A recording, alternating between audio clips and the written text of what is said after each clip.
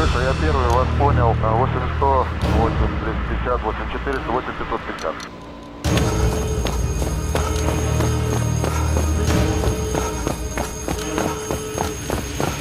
Vector 360, flight level 230, call pre-brief. Scramble, scramble, scramble.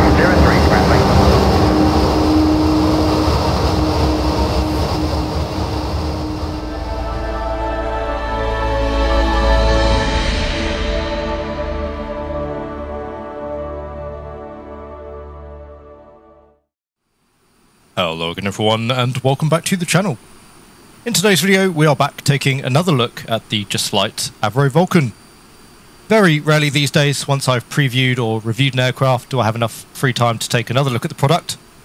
I really want to do in the case of the Vulcan though, which hopefully goes to demonstrate just how much I am loving the aircraft. This flight certainly won't just be a repeat of what we looked at last time when we covered the Vulcan, and indeed, the aim of today's video is really just to cover off any of the items that we didn't get to see during our previous outing. By far and away, the question that I received the most during my previous Vulcan flight was where on earth is the iconic howl from the aircraft? For those that were wondering, the previous version of the aircraft we looked at was actually fitted with the Olympus 301 engines, which, according to Just Flight, don't actually produce any noticeable howl during the takeoff. We ran that version during the preview, as it was the only soundset available to us at the time, but we now have the 201 engines fitted to the aircraft with the associated and fully complete sound set. So for our flight today, we're going to be taking a look at the rear section of the cockpit. We'll take a look at the AEO station. We'll cover off a few more points as well regarding the tablet, the onboard munitions. We're going to carry out an abbreviated startup, and we'll run the first start externally so that you can hear the full range of sounds available and recorded by Just Flight. We'll run those Olympus 201s all the way through to take off power. We'll sit on the runway for just a few seconds so that you can hear that wonderful and iconic howl, which I have to say has been captured and remastered beautifully by Just Flight. Today we're going to be taking the aircraft around the Mach loop. Of course that needed to be done, just for a quick flight, again to demonstrate the flight model, talk through a few more points regarding the product. We'll then be making our return to Valley, and then as usual at the end of the video we'll carry out a bit of a debrief and I'll let you know what I think about the add-on although I think at this point that's probably already pretty clear. So hopefully you'll still find today's video interesting, it should build upon what we saw previously. If you haven't seen my previous breakdown of the Just Flight Avro Vulcan, I'll leave a link to that video up above. As always, I do hope you enjoyed the flight. If you do, please consider giving the video a like and subscribing to the channel. Okay, so we're going to be starting our flight today then from the rear section of the cockpit. We're currently seated at the AEO station. Unfortunately, the entirety of the rear section is not modelled, as you can see. That would have been really nice to have, of course, just help bring every aspect of the Vulcan back to life. And what would be a really nice option, I don't know whether or not it's available to Just Flight, but perhaps if we could get a small paid update in the future, just have the rear cockpit section modelled here as well, that would be really great. Either way though, the AEO station itself modelled very well. Again, excellent texturing and detailing. And as you expect, full systems depth here as well.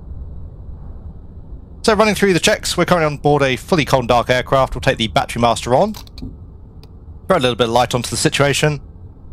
The battery voltage is checked, currently showing 25 volts. The non-essential supplies, we can trip those. Checking both the magnetic indicators. And we'll reset those back onto the bus.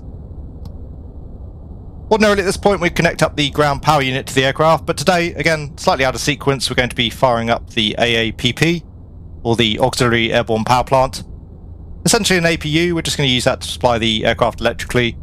That'll allow us to see a little bit more functionality here on the panel, and also hear the sounds here as the AAPP fires up.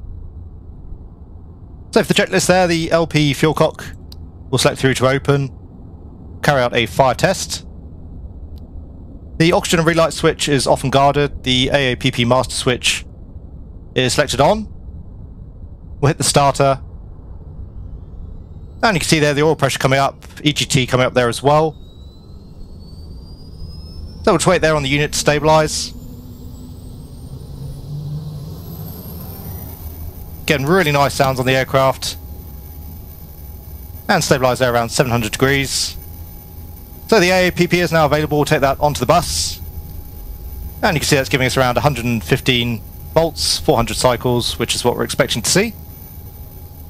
We'll leave the aircraft electrical configuration as is for now. In the meantime, we've got the tablet here as well, located at the AEO station. You can select the tablet from any station on board the aircraft. We'll just take the opportunity here though, whilst we're down the back, to take a look at the tablet and some of the features available to us. So if we come back to the home page, very typical of any Just Flight tablet from any Just Flight product that you may have flown. Firstly, for the OFP, we can actually import a SimBrief flight plan, is actually a really nice feature to have. Of course, potentially you're going to be doing some long-range flights with the Vulcan, and SimBrief is good as anything else for planning those flights. Next we have a map. Again, very much as you'd expect, just using OpenStreetMap data by the looks of things. And again, we're currently located at RAF Valley, just on the island of Anglesey. For the charts, I haven't linked up my Navigraph chart account, but the aircraft does have Navigraph chart capabilities, so again, really nice touch there. Aircraft is where most of the options are available. Firstly, we'll click on the Settings tab. You can see whether or not we want the altimeters to sync up between both the pilot and the co-pilot. We also have state saving, which is a really nice option. You don't see that on too many military aircraft. GPS navigation, I believe, if you set up a flight plan via the Sims inbuilt flight planning tool, you can have the aircraft follow that using the appropriate autopilot modes. Cockpit pilots you'll see later on, we do have really nice custom pilot models available on the Vulcan. For realistic steering, that pertains to the nose wheel steering. Essentially there with that mode selected on, you'll have to hold down the nose wheel steering button each time you want to make a turn. Otherwise there you can just use rudder pedals as you might usually do so. The auto chute jettison option does exactly as you might expect. I believe that has to chute auto jettison at 60 knots after deployment. And trim sensitivity, again a really nice option to have. The Vulcan, by default, is quite a trim-sensitive aircraft, so you might want to dial that in a little bit further.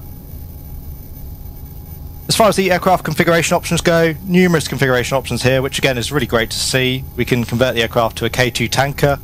We've got the 201 engine option, which a big part of the flight here today is to demonstrate that. You will get the iconic howl that I know so many of you want here with the aircraft. We have the nose probe for air-to-air -air refueling. We also have a TFR, dome, ECM options, the MRR, which I believe is Maritime Radar and Reconnaissance. We also have options for the 558 aerials and also auto throttle, which is nice. I don't believe that was included with previous versions of the product. You can also very easily set up the aircraft fuel state. You can choose presets here between 25 and 100%. You can also adjust things with a little bit more finesse, setting a total fuel percentage. The weights are indicated in pounds, and it would perhaps be nice to have an option to display those in kilograms as well, but of course, no big deal. Lastly, we have a radio page available from the tablet. We can select TACAN channels, set the transponder as well as the common nav radios. Same there for the ADF. You can see as well we have state tabs, so we can choose ready for takeoff, ready for start, and cold and dark. My experience with using those, the aircraft will be fully configured, but you'll still have to use Control E to actually get the engine started. We do also have visibly modelled weapons on board the aircraft, which is again a really nice touch. We have the Blue Steel standoff nuclear missile, Mark 13 bombs, the Whiskey Echo 177 nuclear bomb, the Maritime Radar and Reconnaissance pods. We also have saddle fuel tanks as well as cylinder fuel tanks located in the bomb bay of the aircraft. And finally as well we have the Shrike anti-radiation missile. Further to that we also have the ground GPU as well as the external air carts. We do have a few nice external features as well. We have the ability to fit chocks and covers. We can also open and close the bomb bay and the crew door by the tablet as well, we can extend the K2 hose, although that's not an option available when the aircraft's on the ground. Back to the main page again then, we have a notes page, pretty simple there, you can just use page to draw out any notes should you wish for example to use the aircraft on VATSIM.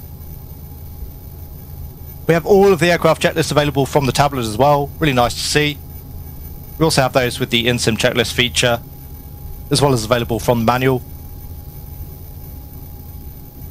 The top of descent calculator does exactly as you might suggest. You can put in your current flight parameters and the tablet will work out a top of descent point for you. And lastly, in terms of settings, fairly basic there. We have the option to choose between a 12 and 24 hour clock format. You can also set local or Zulu time. And you can choose whether or not you display your OFP user login name.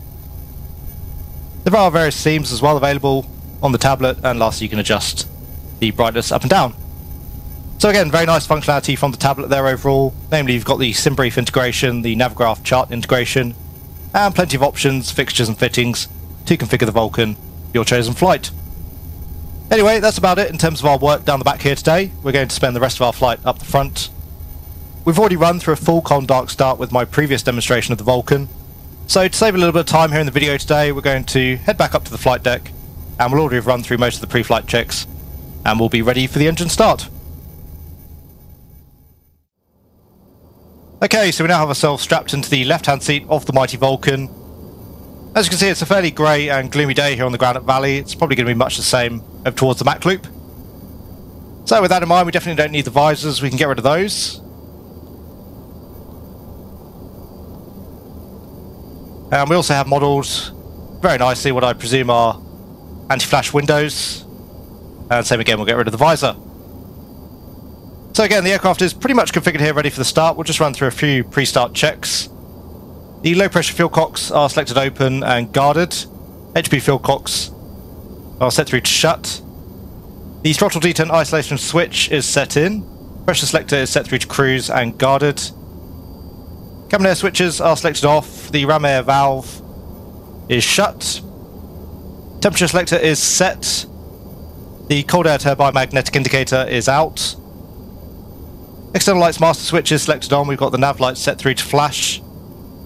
Tank pressurization is selected off and we have four white magnetic indicators. Air to air refueling panel is selected off. Fuel pumps are set through to on.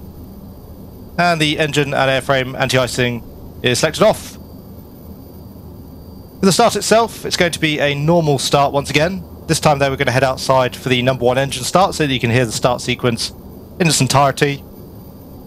So for the normal start checklist, the air selector is set through to normal, ignition switch is selected on, and the engine master switch is selected on. The air feed magnetic indicator indicating open. We're starting off the external ground air, so the throttles are closed. And indications look good. Again, we're going to be starting the number one first, so we'll take the engine air number one switch on and we'll hit the number one starter.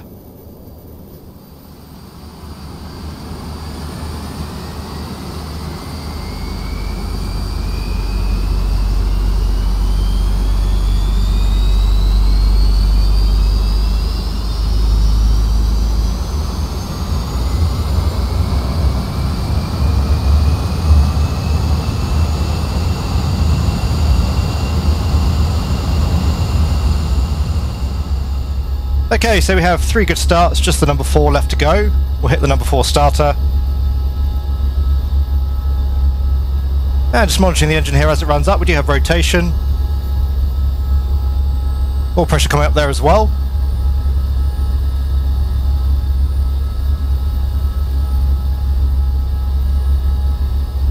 And just coming up through 15% there on the RPM. We'll introduce the fuel. The HP fuel cock will set through to open do have a good light off.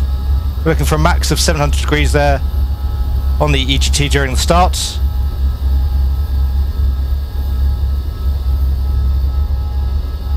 And looks as though the number 4 stable there as well, so we do have four good starts running through the after start checks. The alternators are all set on, again that's down to the AEO station. The amber lights are out and the alternator failure light is extinguished. Engine master switch is selected off same there as well. Take the ignition switch off. And the air feed magnetic indicator is showing shut. The fuel console that is configured for the departure. Engine air switches are all selected off. Cabin air switches are both shut. Carry on air brake test. So first through to the medium drag position. And again indicating that the air brakes have extended through to high drag. And we'll stay those once again, the magnetic indicator is out. Hydraulic pressure is checked up in the green, the bomb bay door operation. We'll set that through to open. You can see we're in transit and indicating open. And we'll close that up once again. And the door indicating closed. So back through to auto. For the PFC auto stabilizers and feel, we'll take all of those on. And we'll come on to system 1 for the yaw damper. You can see all of our flight controls aggressively coming online. Really nice as well the way that's been modelled. It used to happen instantaneously with previous versions of the aircraft in P3D and X-Plane. Let's check lights are out. The fuel lock switch that's set through to normal. The green light is off. Really nice to see that Just Flight updated that as well. It was amber in the previous video. Main warning lights are checked and out. The flight controls. We have full up, pull down, and neutral, pull left, pull right, and neutral, and on the rudder, pull left, pull right, and neutral. The 28 volt TRUs again taken care of by the AEO. The AAPP, we've obviously already got that started up. External power has been removed, the alternators have been synchronized. The AVS master switch, again really buried away down the back, that is set through to open. That's it in terms of the after start checks. For the taxi checks, the ejection seat safety pins have been removed, pressure head heaters are selected on. We'll close up the entrance door in just a moment's time, we'll have the ground crew remove the chocks, we'll take the taxi lights, and we'll make our way out towards runway 31. Tower leader 5 at Atlantic approaching Foxtrot North. Can leader 5 cross Foxtrot North, north to south after departing? Leader 5 after the departing twin cross north to south report vacated. Leader 5, thank you. India 0108, line up and wait on runway 27. Okay, so we now have ourselves lined up on runway 31. Running through the before takeoff checks, the electrics are set. Again, that's the job of the AEO. The PFC and stabilizer panel, that is checked, lights are out. Main warning lights are out, magnetic indicators are checked, the hydraulic pressures are checked up in the green. Fuel console is set. We'll just take track on here as well for the autopilot. That way it's pre-selected ahead of time. The DI switch is set through to medium, tank pressurization switch. Tricky to see here with our co-pilot down on the right, but that is set. Altimeters, we have a QNH of 1019 set on both sides, showing an aerodrome elevation of around 40 feet. The run out is selected on, and currently showing zero. Cabin air switches, again a little bit tricky to see, we've currently got the port cabin air switch selected open, and same for the engine air switches, we've got one and two, both selected to the open position. For the takeoff in the Vulcan, as we looked at last time, nominally you'd come through to 80% on the RPMs, let the engine stabilise, release the brakes, and off we go. Today though we're going to come up to just above 90% as that's really the RPM range in which the Vulcan tends to howl the most and I know that many of you are very keen to hear that iconic howl. So brakes off, holding the aircraft just on the toe brakes, and coming up on the throttles. As I say, we'll let the engine RPM stabilise around 90-95% for just a few seconds. That'll give us a great opportunity to hear that howl once we go to the external shot for the takeoff.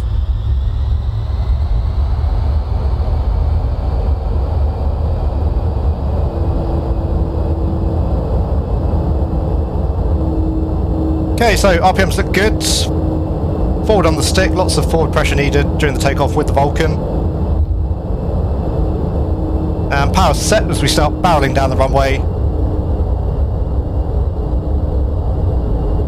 The aircraft pretty quick to accelerate as well, already just come up through 100 knots. Targeting rotation at 150, there's 150. So just easing back on that forward pressure. The nose wheel gradually coming up. We do have positive climb, we'll take the gear up. And ordinarily we'd pitch for 2.50 knots, but we're going to keep ourselves low level here just to maintain visual with the ground, so we'll gently pitch the nose down and allow the aircraft to build some speed.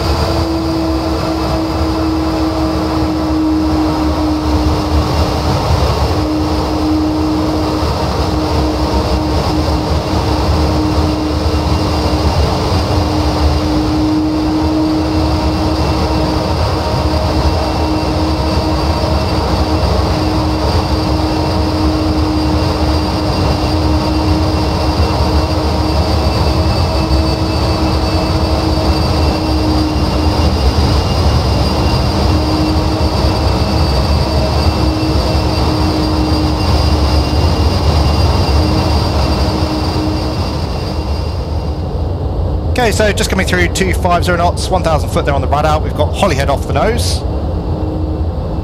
We're going to level off here around 1,000 foot. And we'll start going back as well now on the power. We'll set ourselves up for a 300 knot cruise. So back to around 80% on the RPMs. Okay, power's set for the off takeoff checklist. The undercarriage is up, lights are out. For the takeoff cruise selector, we'll come through to cruise. And just approaching Holyhead. For the landing lamps, we'll leave those on as we're staying low level. Same for the tank pressurization, the cabin air, and the engine air. We'll leave all of those as they currently are. So, starting a left turn here back out towards the southeast.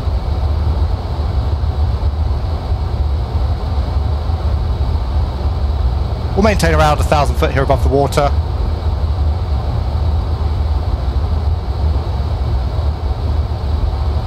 Anti-icing separate as required and bomb bay tanks once again not fitted to the aircraft here today so we've got the fuel tank selectors set through to the main.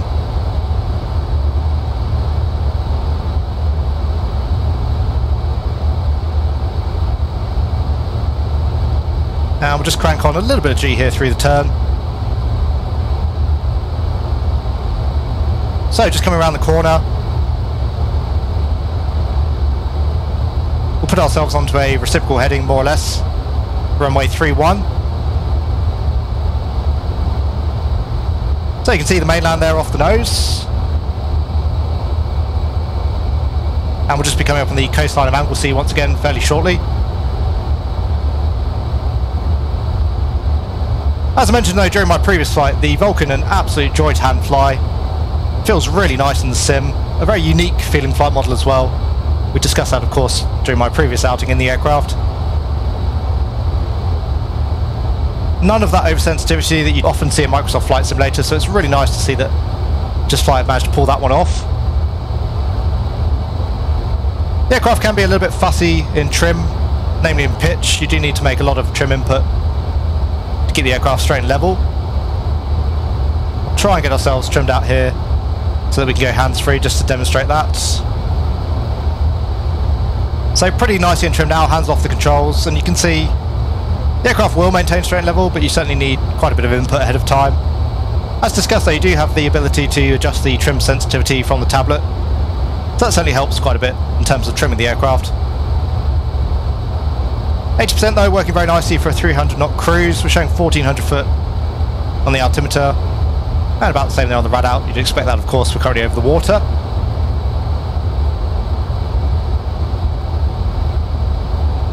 We'll have Valley just coming up off the left wing. So again, tracking the reciprocal currently down runway 31. We'll be making a return later on after we've done our run around the Mach Loop. We might come back for a visual onto runway 31. We'll see whether or not the weather's closed in, otherwise it'll be a an ILS onto runway 13. So just continuing to track down the coast. Still over Anglesey at the moment, we'll be crossing over the Menai Strait in a minute or so's time. We've got Caernarfon off the nose, you probably can just about make that out. So we'll have Bangor further out towards the north. It is worth noting the visibility in the Vulcan, not particularly stellar, so if you're looking at that as an aspect to buying the product, it may not be the aircraft for you, but it's one of the product's very few weaknesses overall. And of course, no fault of Just Flight, that's just the way the aircraft was designed. So as I say, we'll continue to track down the coast here, low level, to maintain visual. We'll hit the mainland in just a moment's time. We'll head outside for now, and I'll come back to you again as we approach the Mach Loop.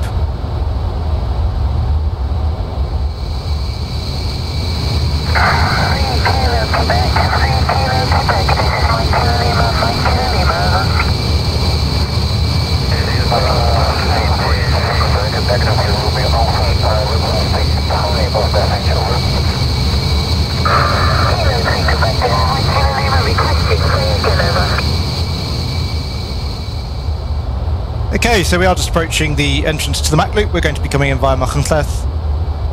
Overall, I have to say, actually, once I got the Vulcan trimmed out, the aircraft did sit pretty stably during the cruise. Didn't need much input from me. So I'm not sure whether or not Just Flight have done a little bit more tweaking to the flight model since the preview version of the aircraft we looked at, or maybe my piloting of the aircraft just improved a little bit.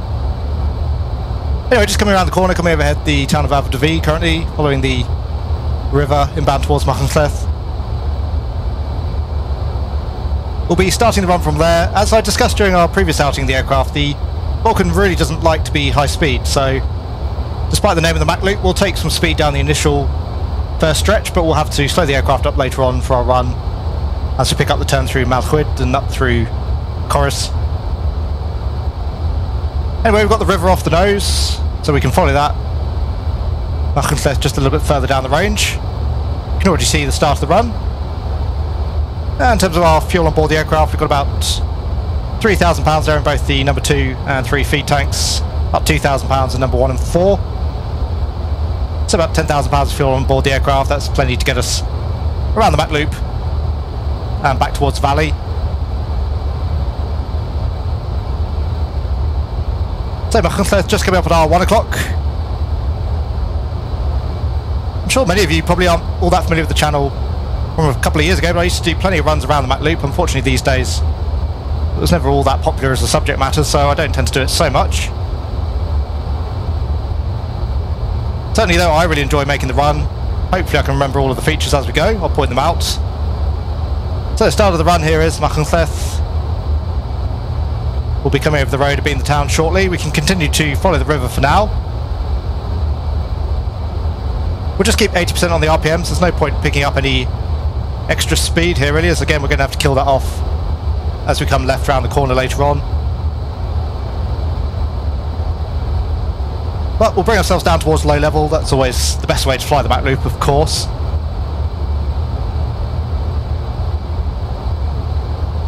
So tracking down the valley for now, following the A470. We'll be following that for quite a chunk of the run. And again, we've got the river down there on our left.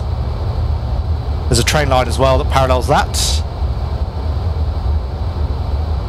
So around 310 knots currently, still some level of control authority out of the Vulcan.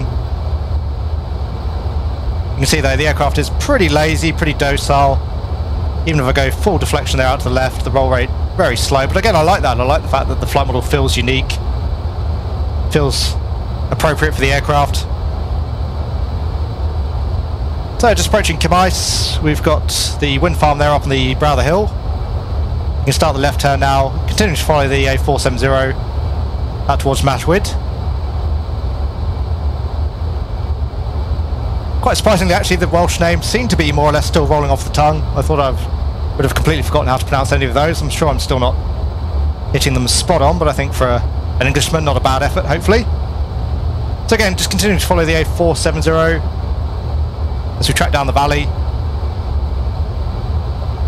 And as we make the turn here, we can point the aircraft in towards the hill. We'll make a turn through Dinas Mawddwy in just a moment's time. We'll probably have to take a little bit of speed brake in order to do that. We'll see how we go. There's the A470 down on the right-hand side of the aircraft. So again, there's our hill. And just approaching our turn, we'll get the aircraft banked in early. Just trying to avoid here bleeding off any excess speed. We'll obviously bleed off some speed here as we come through the turn. And I'm really not looking to pull anything more than 2G here throughout the run. Okay, so no real problems with the turn here as we come over Dinas Mawddwy. The aircraft does still have enough control authority to get us through the turn. Uh, we're doing about 280 knots now, so I'd expect a little bit more control authority, which is what we're getting. So again, we'll just continue to follow the course of the valley out towards Bush.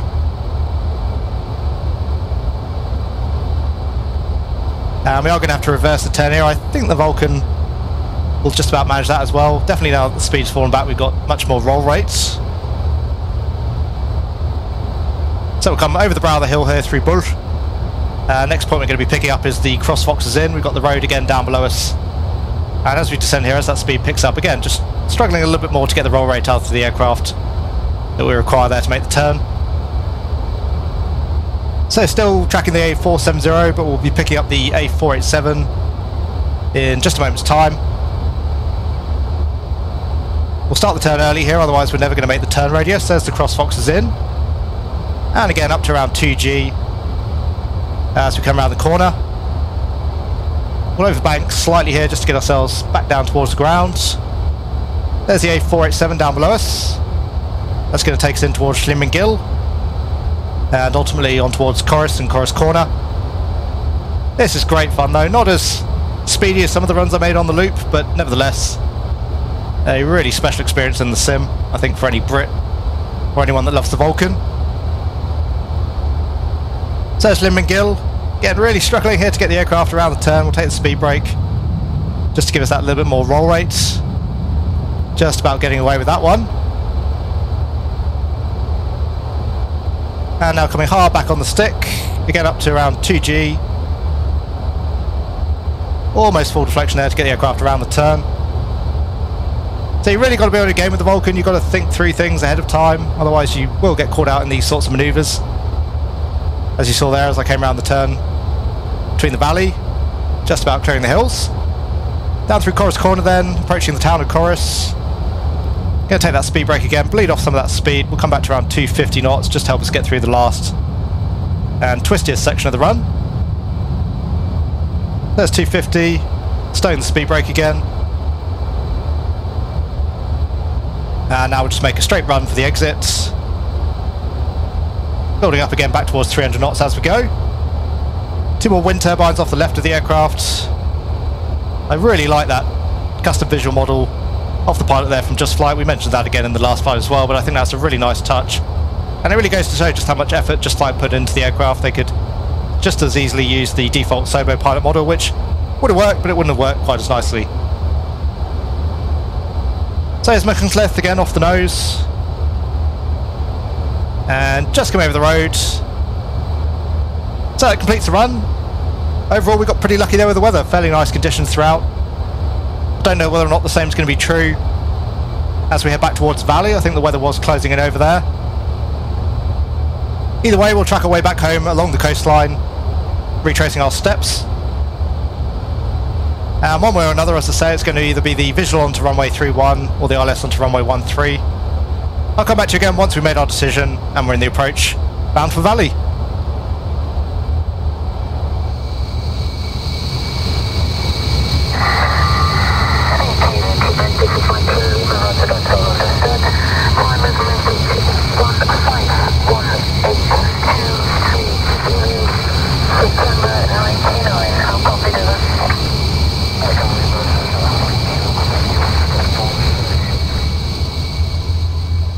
So we're on final approach at the moment for runway 13 at RAF Valley. As you can see, the weather has definitely taken a turn for the worse.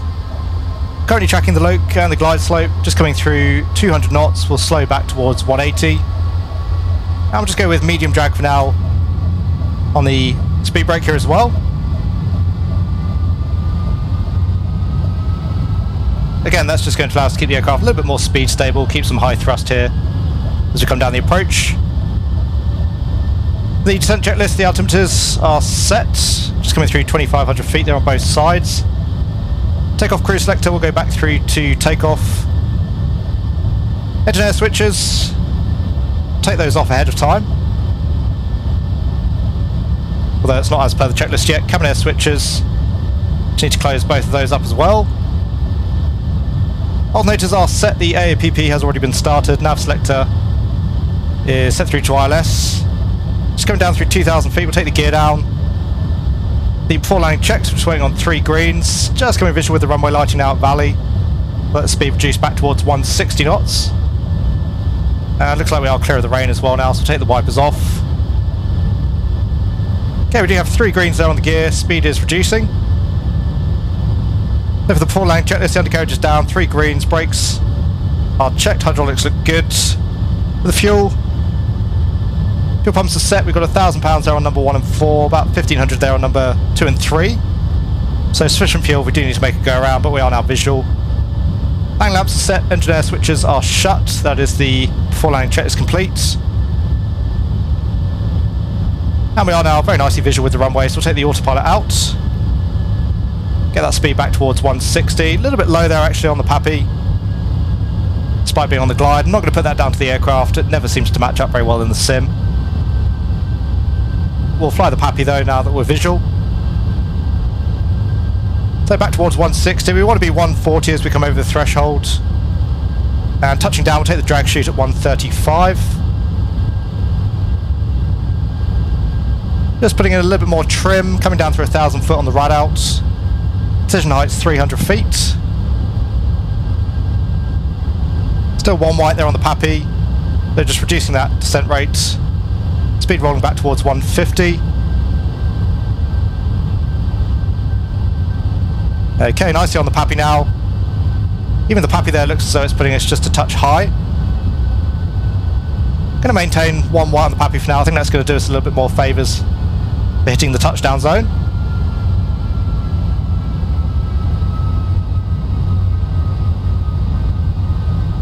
So we'll go full speed brake.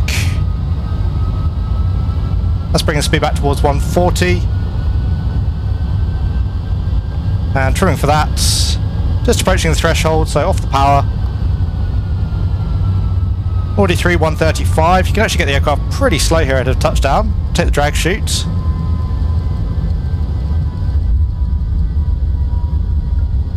Down to 100 knots, we'll just let the drag chute do its work for now. Lowering the nose wheel onto the runway, again actually needing a little bit of forward pressure there on the stick. Nose wheel's down. Again, we've got the automatic jettison selected, so the drag chute should drop momentarily. And we'll vacate down off the left, so onto the brakes. We'll roll through towards the departure end.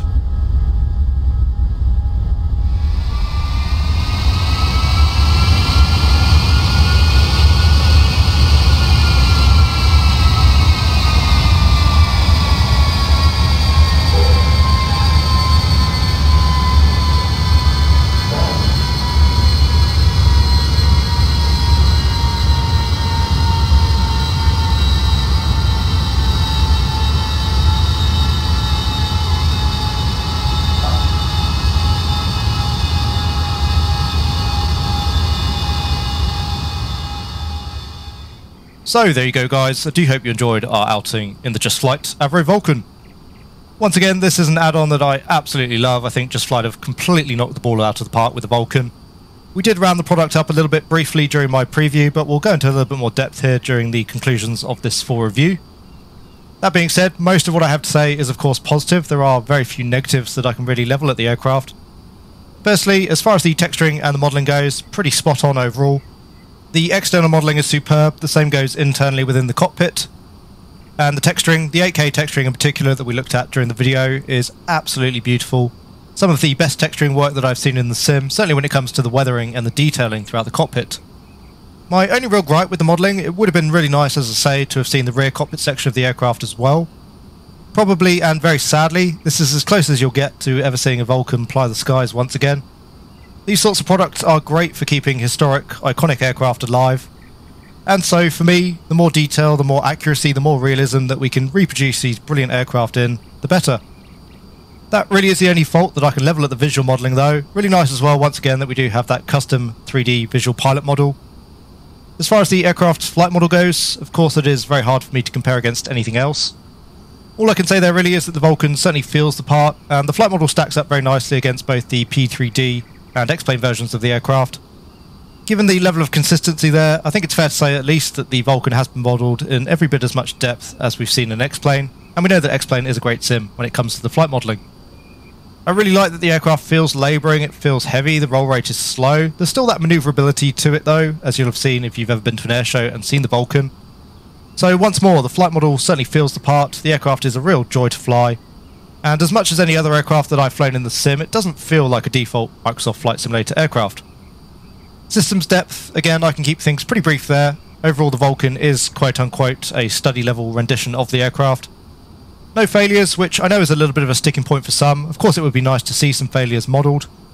But realistically, unlike your typical commercial jet, failures probably are going to feature a little bit less in a typical flight here with the Vulcan. Again, unfortunately the only area that's really lacking in systems depth is the rear section of the cockpit. We do have the AEO panel, but otherwise again, there is quite a bit missing down the back. As far as the sounds go, Just Flight had access to the real world Vulcan, and again I think that certainly shows. Pretty much every switch, every system, not only has an associated sound, but that sound is recorded from the real world aircraft.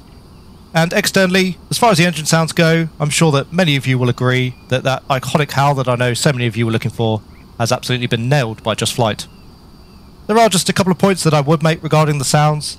Firstly, as far as the engine sounds go, externally, From the front of the aircraft, you only really get a whine. There's no rumble or roar from those Olympus engines. You do get that roar from the back, but overall the sheer power of the Vulcan isn't quite conveyed in the sound package. Similarly, whilst all of the switches and click sounds are recorded from the real world jet and presumably are recreated at accurate levels, personally I would have liked to have had the switch and control sound just be that little bit louder. Firstly, it gives the actuation of the switch more presence, it allows you to enjoy the real world sounds as well, and it just helps give you that little bit of feedback that you don't get from the real world tactile operation of the switch. As far as the extras go, again the product is very strong. We have the onboard tablet with SimBrief and Navigraph integration. Multiple configuration options as well for the airframe, both in terms of the configuration and the loadout. And the sort of typical ground equipment that you would expect to see these days. We have covers, chocks, external GPU and air cart. The documentation as well, as is always the case with an in-house Just Flight product, is absolutely superb. All you need there to get you started with the Vulcan I managed to get from zero to hero in about half a day's worth of flying, sitting down just with the manual and the checklists. All the info I needed was provided there. Lastly, in terms of the aircraft's FPS, we touched on that during the last video. I was losing about 20 FPS with the Vulcan, getting about 60 FPS with the aircraft versus around 80 with the default Cessna 152. All in all then, once again, I think Just Flight have done an absolutely excellent job with the Vulcan. It was an aircraft that I was really looking forward to in the sim, and the jet has gone above and beyond my expectations. I would go as far as to say that this is my own personal favourite aircraft in the sim currently. It's just such a unique, interesting piece of design, piece of history. It's significantly different to operate from probably most other aircraft that you've flown in most other sims. And overall, I just think that Just Flight have done a brilliant job of capturing the magic of the Vulcan. The product just keeps me wanting to come back for more. All of this as well for a very reasonable price, £28 for the product. Just Flight stating that they want to give a little something back to the community very commendable, of course, and I certainly hope that that decision pays off for them in terms of sales. As long-time viewers of the channel will probably recall, I typically do a top 10 list of add-on aircraft at the start of each year, and with 2024 rapidly approaching, I'll certainly be making the same list again. I can't really see any way that the Just Flight Vulcan will not be included on that list. Once again, a very big thank you to Just Flight for letting me both preview and review the aircraft. I do hope that all of you enjoyed the video, and if you did, please consider giving it a like. If you want to see more content from the channel, then please do consider subscribing as well. And if you'd like to help support the channel further, you can do so by becoming a channel member or patron. I'll leave a link to both of those down in the video description below. As always, have a great day wherever you are, take really good care, and I will see you all again soon.